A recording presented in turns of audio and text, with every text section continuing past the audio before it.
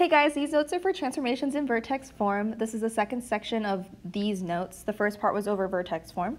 Um, we're going to be talking about transformations um, and what these parts tell us. So I'm going to kind of split this into four sections so that I don't overwrite in certain areas. Okay, so the first one, we're going to talk about the A value. So if A is positive, then it opens. Do you remember? It's going to open up. Remember, we have that little like smiley face where it opens up because it's positive, it's happy. If A is negative, then it opens down which is like a sad face. Okay, so we have two parabolas there. One's negative, one's positive. Now, let me draw a picture on the side here, and you don't really have to draw this. I'm going to kind of just talk about it. If I have a parabola, let's say this green one here, and right now it is positive, it is face up. And when we're talking about transformations, we're talking about their relationship between from the parent function to the new uh, uh, function. So if this is our original function, and I make it open down so it, it flips the other way, is this a reflection over the x-axis or over the y-axis? This would be a reflection over the x-axis, right? We're taking that green one, it's hard to show you without my hands, but we're flipping it basically over the x-axis to the other side of the x-axis. So, if you see a negative sign, this is telling us what color should I use? Okay. This is telling us that it is a reflection over the x-axis. And if there's no negative sign, then obviously there's no reflection. It's just, um, there is no reflection, it just stays positive. Okay? The other part about this, um, about our transformations that's new, so we already learned about reflections before. Um, and I'm sorry for the background noise. People are still in the school. You okay? Oh, I'm great. Thank you. Sorry. um, so this section is brand new. So let's talk about this. If, now these are absolute value bars, so these are like little lines or bars, and I'll talk about them in a second. So if A is greater than 1, then we have a vertical stretch. Okay? And I'll kind of talk about that a little bit more. So I'm going to leave some space between that. If A in my absolute value bars is less than 1, then we have a vertical compression. Okay? Now let's talk about what that means. So first let's talk about absolute value bars. So anything in an absolute value bar will become positive. So if I have negative 2 on the inside of absolute value bars, that's just going to equal 2. If I have a positive 2 in absolute value bars, I'll still have 2. So whatever goes inside those bars becomes positive. So basically it's saying whatever A is, doesn't matter. If it's bigger than 1, then it's going to have a vertical stretch or if it's less than one, it'll have a vertical compression. So let's talk about what it means to have a stretch and a compression. So let me draw this picture of my parabola. Okay, well, that's an ugly parabola. Now, looking at this picture, which one of these is your vertical axis? Is it your y-axis or is it your x-axis? Okay, it's going to be my x, my, uh, my y-axis, this blue one right here. So this is the axis that I'm looking at. If I have a vertical stretch, so this blue part, if I have a vertical stretch, that means I'm stretching or I'm pulling my y-axis and I'm pulling it apart. So just pretend like you have one hand on the bottom, one hand on top, and you pull it apart. What would happen to your pink parabola? Would it get narrower? Would it go in closer? Or would it get fatter? Would it get wider? Okay. Um, if you're having trouble like visualizing this, you can definitely come and ask me. But what's happening is that your parabola is getting narrower. Course, on a STAAR test, it's not going to say narrower. It'll probably say vertical stretch. Okay, so basically you're stretching your axis, and it's stretching it, and it's making it narrow. Now, for vertical compression, we're still looking at the y-axis, but what happens when I take my y-axis and I compress it, it means I squish it. What would happen if I take both ends and I squish it down? Then my parabola ends up getting wider, so it's getting, getting squished. So this would make it wider, okay? So when you're asked to list transformations, you either put a narrower or wider. All right, next here we have um, our little house, all right? We have a house and our x is inside. Do we remember this sort of from uh, linear functions? Um, so we have our house here and our x is in the house. And basically we want to run away from our x and we can only run away either left or right. So this is a horizontal shift, which means we can either go left or we can go right. Okay? And don't forget that these are going to be opposite of what you think it's going to be. Okay? So if there's a x plus 3 on the inside, then you're going to go to the left. So let's do an example. We have x plus 3. That would be the left. If we have like x minus 5, that would be the right 5. Okay, so those are just some examples. All right, and the last thing, the only transformation or the only translation we haven't talked about is, what color have I not used? I haven't used orange, is going up or down. So this would be our vertical shift. This would be up or down. Okay? And that's whatever you think it would be. If it's plus 5, then it's up 5. If it's minus 7, then it's down 7. All right, moving on, we need to graph and identify transformations from the parent function. So our parent function here is going to be y equals x squared, and it's always the parent function. That's the most basic quadratic function. Now we need to list the transformations from that one to this new one. So let's look at all the different transformations we see. Well, I see a plus 1 inside my parentheses. So that's going to indicate to me either left or right. And since it's plus 1 and I need to do the opposite, I know that's going to be left 1. Okay? Also, I see a plus 2 on the outside, and since it's on the outside, I know that's going to give me up or down, and since it's positive, it would be up 2. Now, that's the only thing different. Everything else is going to be the same as what you did on um, the previous notes, which is uh, graphing standard form. So, you're just going to graph it. So you're going to type this in your calculator. Okay. Once you type that in your calculator, you'll type it in y equals, and you can create a little table over here. Now, without even looking at your calculator, you should already know what your vertex is because this is a vertex form, okay? There's only two forms, either standard or vertex. Since this is already vertex, let me ask you, what is the vertex? Remember, it's h comma k, your vertex, okay? So your vertex here would be negative 1, positive 2. Now, remember, your vertex is what goes in the middle of your table. Okay, it's the one that doesn't have a twin, the y values of twins, so that one will go in the middle. So without even graphing, without even doing anything, you should already know what your vertex is just by the form that you're given. Okay? Um, so actually, I can just put negative 1, 2 here.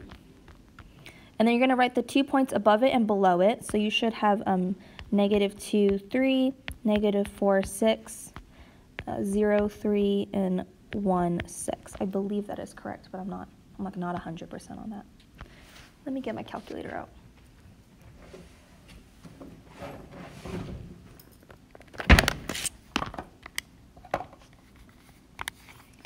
x plus 1 squared plus 2, second graph. Uh, yeah, that's right. Okay, so I'm going to graph all of those.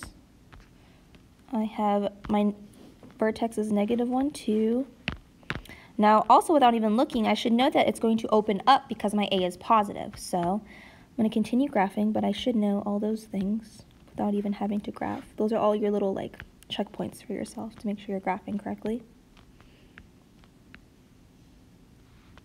So your graph should look something like this. I mean, hopefully a little prettier. Mine looks kind of janky. All right. Now, your x axis of symmetry is always x equals and remember, it goes through the vertex, so it'll have the same x value as your vertex, which is negative 1. Okay? I don't know why I did that in a different color. Let me go ahead and do that in blue. x equals negative 1. So remember, um, these guys will be the same. Okay? Now your y-intercept, now for standard form, your equation gave you the y-intercept. It was your c value. But for vertex form, we don't have the c value. So you will have to refer back to your calculator on your table. Okay? So on table, in your calc. And you're looking for 0 comma number. Okay, so you look through your table. You should get 0 comma 3 if you look at your uh, graphing table. And then, I don't know why I changed colors again. Okay, and then domain for quadratics is still all real numbers, so that doesn't change. and then your range. So you know this is opening up, so it's going to be y is greater than or equal to, and then it's whatever your y value for your vertex is, because that's your lowest or highest point. So it's always going to be that y value. So let me go ahead and highlight that so you remember. So those are always going to be the same. That's graphing that one. Okay. Number two, go ahead and graph. Let's look at the transformations for this one. This one we actually have three transformations. The first one, okay, well I notice that I have this negative in the front. Now negatives always indicate to me that I have a reflection. It literally doesn't do anything else but tell me that I have a reflection. So this is a reflection over the x-axis, okay? Now since it's negative in the front, that means our a is negative. And when a is negative, that means we'll have a parabola that faces down. The other transformation that we have is that we're going to the right to, because that's in the house, and it's the opposite of what you would think it is normally. And this one would be up 3. And those are our three transformations. Okay? And then like normal, you're going to go ahead and go to your calculator. And you want to be really careful. This is a minus sign. Oh, not just kidding. This is a negative sign. And this one is a minus sign. Okay, so you don't want to screw that up. So if it's the very first minus sign, then it's going to be a negative one. Whoops. x minus 2 squared plus 3. Second graph. Okay. Again, without even looking, or without even looking at my graph, I should know that from my vertex form here, that what my vertex is. Okay, remember it's h comma k, so it would be positive 2, positive 3. So I shouldn't even have to look at my table on my calculator, but I'll check. And I do have positive 2, positive 3. And then the other numbers that I have are 1, 2, 0, negative 1, 3, 2, 4, negative 1. Okay, so let's graph that, 2, 3. Again, it should face down since A was negative.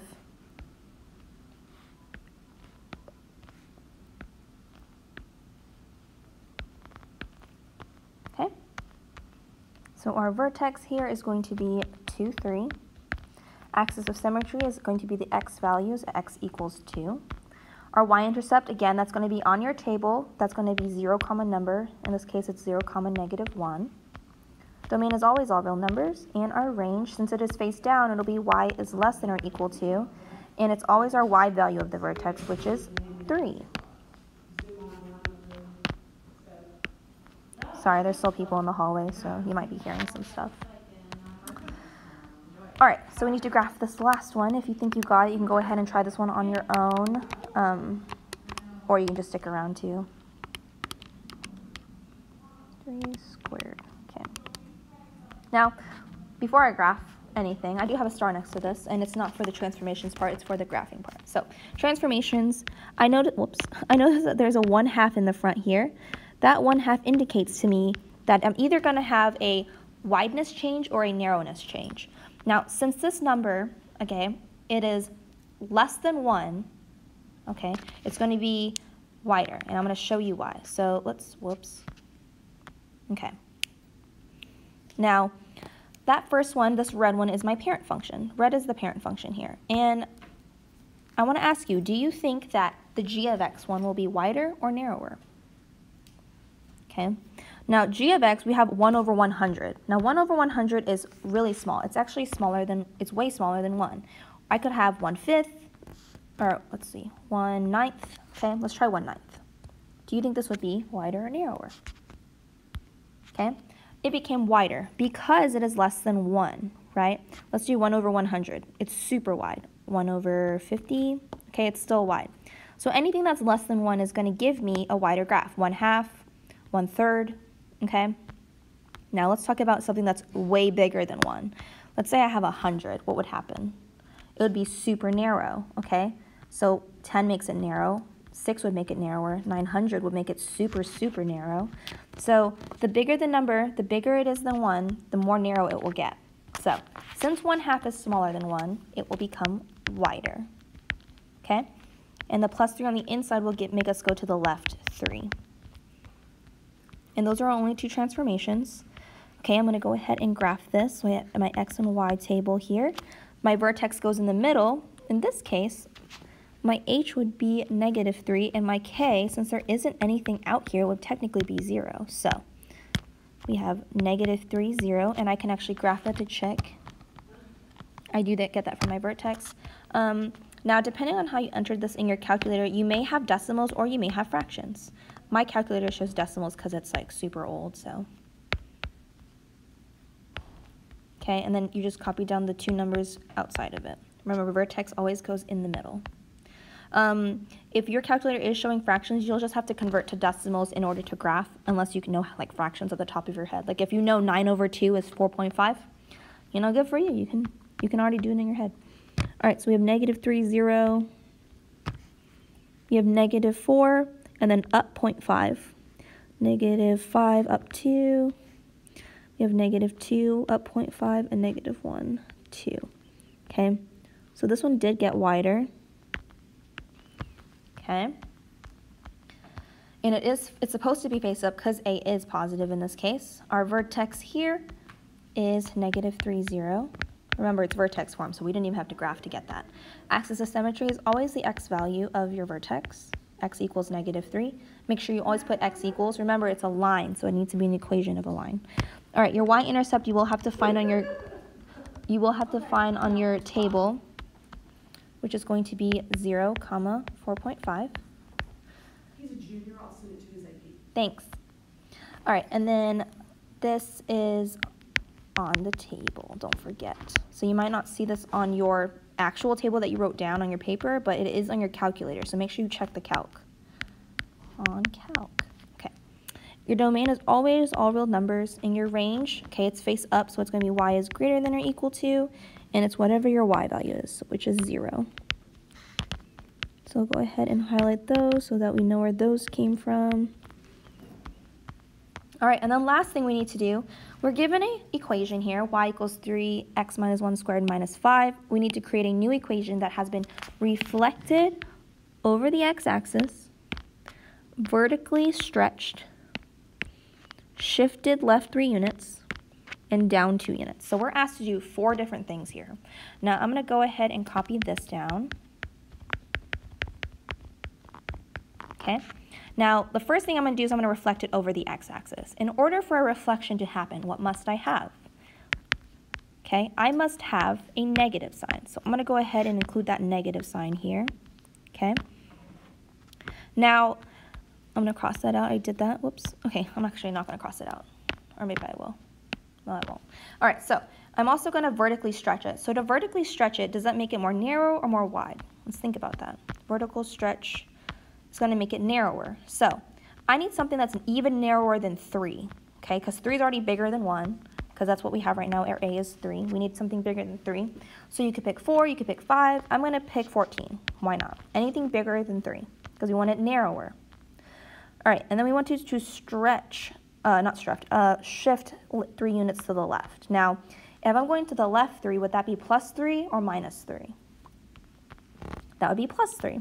So you're going to add 3 to this. So negative 1 plus 3. Now, in your parentheses, everything's staying the same except I need to add 3. So earlier it was already minus 1. I needed to add 3 to that. Well, negative 1 plus 3 is going to be positive 2. Okay. And then the last thing I want, it wants me to do is go down 2 units. And so it was already down 5, and I need to go down 2 more, which means I need to go down 7. Okay. That would be my final answer. y equals negative 14, x plus 2 squared minus 7. Again, you could have a different a value. It just depends, as long as you're vertically stretching it. If you end up putting like 2 or 1, you're making it wider. You're compressing it and not stretching it. But that is it for our notes for um, transformations. If you have any questions, feel